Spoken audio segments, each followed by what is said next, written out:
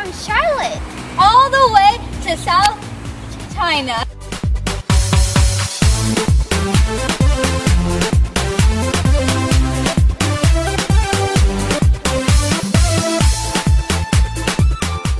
How was your flight? I'm so tired. I just want to get an activity ready. I know, me too. What's there to do?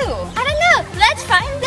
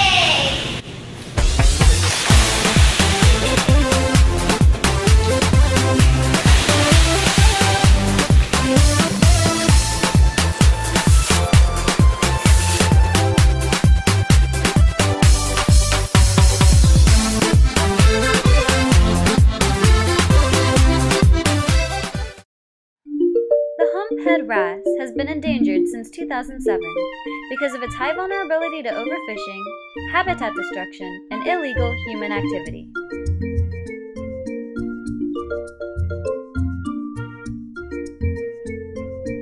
The humphead wrasse population is very low. There are rarely more than 10 humpheads per 10,000 square meters. Over the past 30 years, its population has declined by at least half, with some localized population by as much as 90%.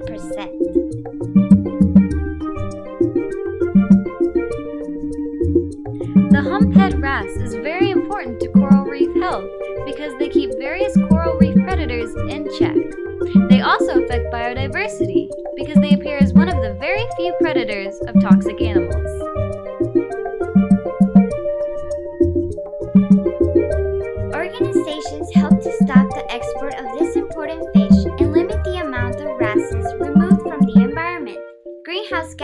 Can also be reduced to protect the humphead's habitat as a.